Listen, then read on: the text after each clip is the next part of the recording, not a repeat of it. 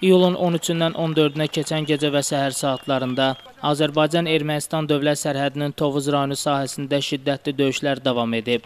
Tovuz rayonu istiqamətində gedən döyüşlər zamanı bölmələrimizin gördüyü cavab tədbirləri nəticəsində böyük itkilər verən düşmən geri çəkilməyə məcbur edilib. Düşmən hücumunun qarşısını alarkən döyüşdə Azərbaycan ordusunun hərbi qulluqçusu Akstapa rayon Köçəskər kənd sakini 1987-ci il təvəllüdlü Gizir Babayev Yaşar Vasifoğlu şəhid olub. Şəhidimiz doğma kəndi Köçəskərdə torpağa tapşırılıb. Keçirilən vida mərasimində Ombudsman Səbinə Əliyeva, millət vəkilləri, Müdafiə Nazirliyinin məsul şəxsləri iştirak ediblər.